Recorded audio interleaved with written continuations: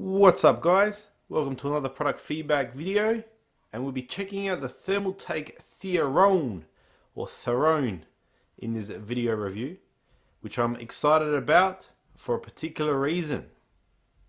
The reason for my excitement is the Theron was actually designed with an RTS player in mind and as an avid StarCraft 2 player myself or real-time strategy gamer this mouse was actually designed in conjunction using Softball, who himself is actually a professional StarCraft 2 player.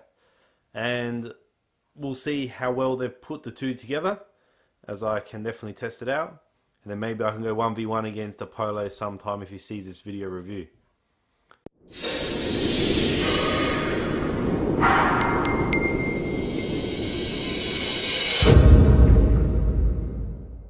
The Thermaltake Theorone comes actually with quite a lot of bits and pieces inside the packaging. You actually get a CD driver because Thermaltake now do a GUI for their mice, which I'm really excited to have a go at. You also get some cool stickers as well as a carry pouch to move that mouse around with you and keep it protected from landing sessions. And it's quite overly pretty impressively packaged. It doesn't feel like it's a cheap product at all. I definitely think they've done a good job on their packaging. Taking a close look at the Thermaltake Theron, it's actually finished in this matte sort of rubber satin finish, which for me I actually really like. It uh, gives this nice sense of quality on the mouse. You've also got two buttons here, which actually allow you to reduce and increase your DPI, as well as two customizable buttons on the side here. And you also have obviously your two main up the top your left and right. A lot of people ask me how loud is it? Have a listen.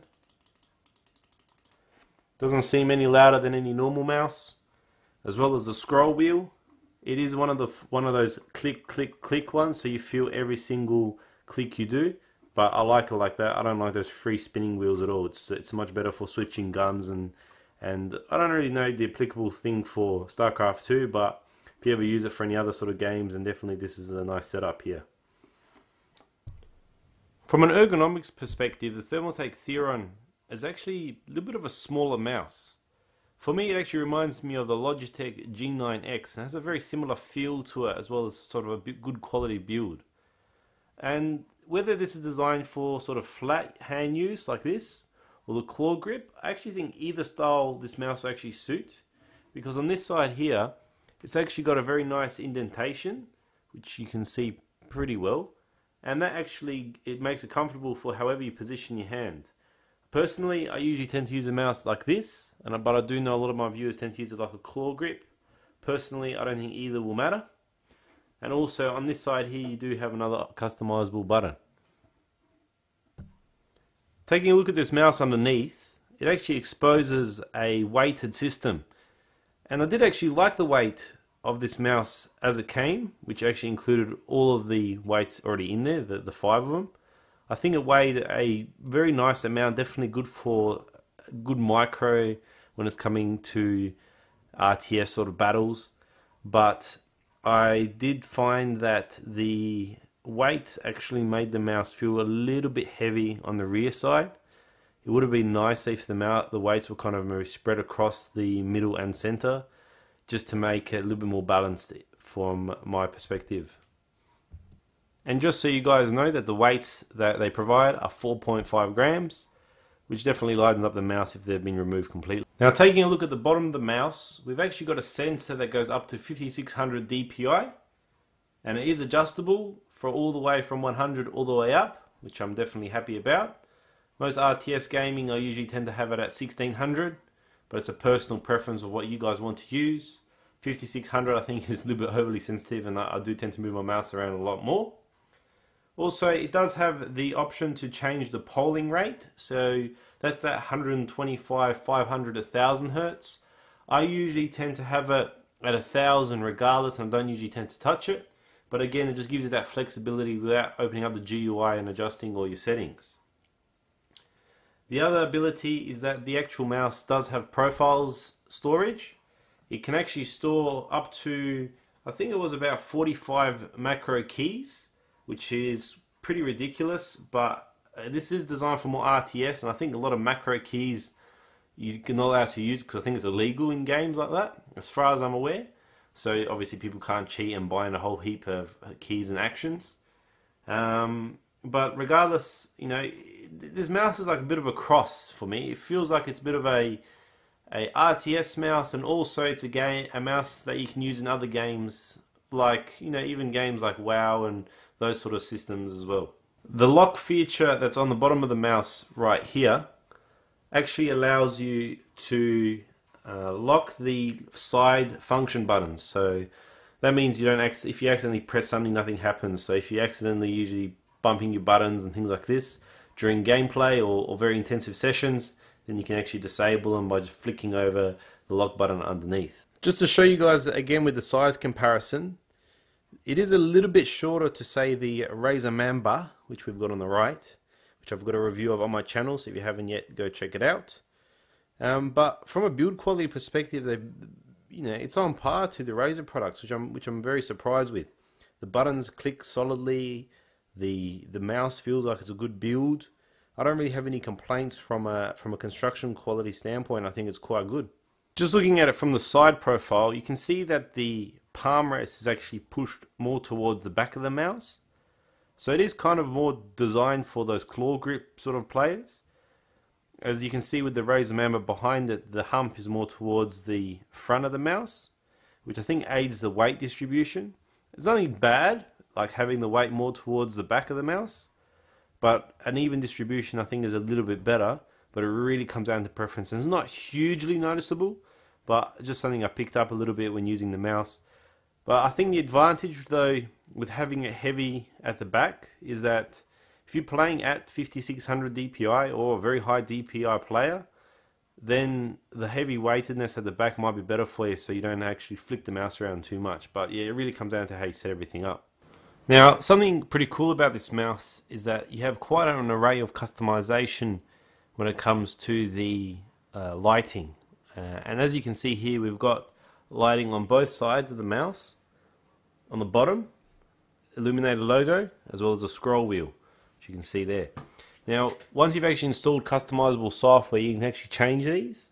So we've got different options such as red, which looks pretty sick.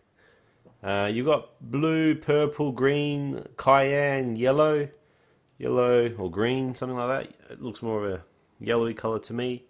Personally, um, I actually like to do a mix, which you can actually do on this mouse. So you can actually customize it. So say I want to have the sides red, I can actually make the sides of the, the mouse red. So you can really have quite a, a good amount of fun customizing the mouse to look how you want it. Now, the software I'll show you in a sec, and we'll go over the different features and customization of the actual mouse. Alright, so what we're looking at here is Thermaltake's new GUI for their mice, or in this case the Theron. And you can get a, you got quite a few controls here.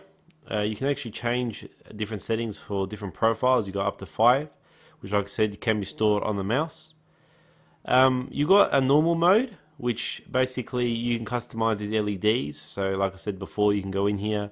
You know, maybe I want the bottom to be to be red, etc. On apply that, and you can do that, and it reflects it on the mouse.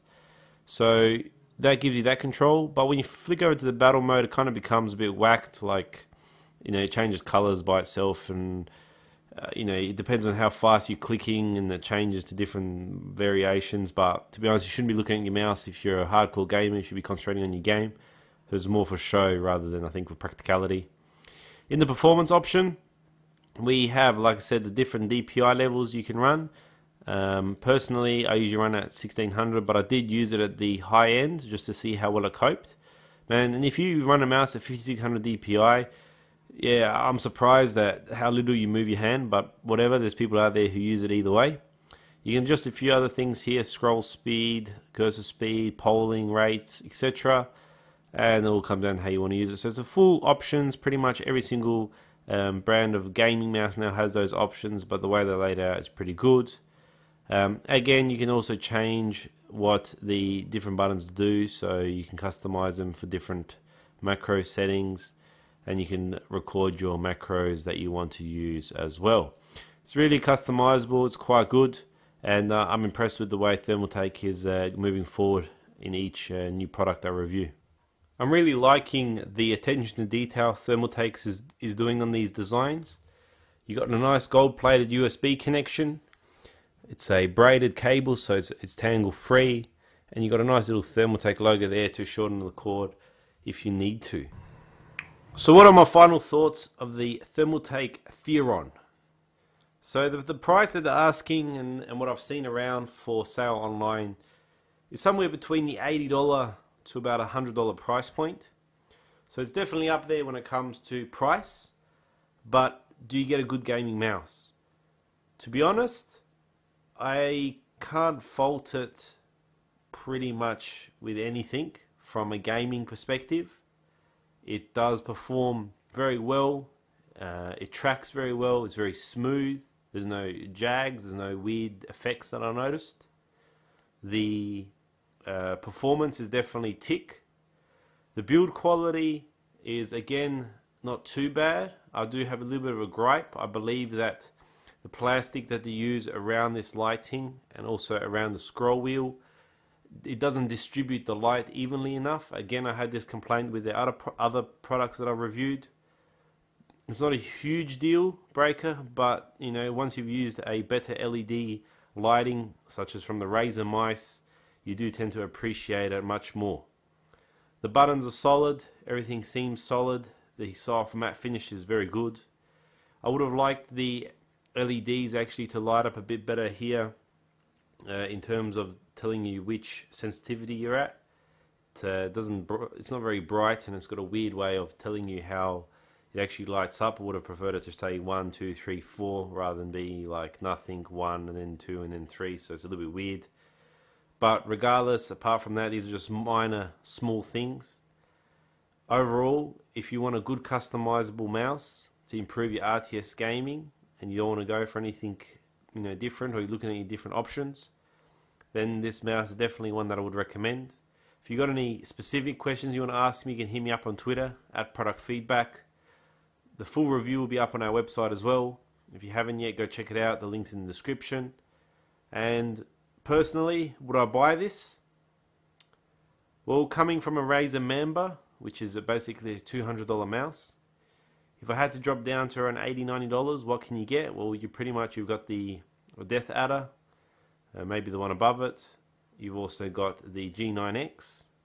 Uh, you've got this mouse here, and I've seen a few other competitive mice as well for around that sort of price point. But do they give you this cool flexibility of a LED lights and customization and everything? Then then they don't, and this one does. But there's one thing to know is like I said, the the design is a little bit interesting. I do think it actually does suit uh, the the uh, claw grip a little bit better than it does for a flat-handed use. So if you're not or uh, not a fan of using the claw grip or you really hate that sort of style, then I would look elsewhere. But if you're you're a claw grip user, you don't mind sort of having your hand up a little bit, then this is definitely a good quality mouse to check out. And I'll give it 8 out of 10 product feedback stars. This is Mohammed. Thanks for watching and see you guys in another video soon.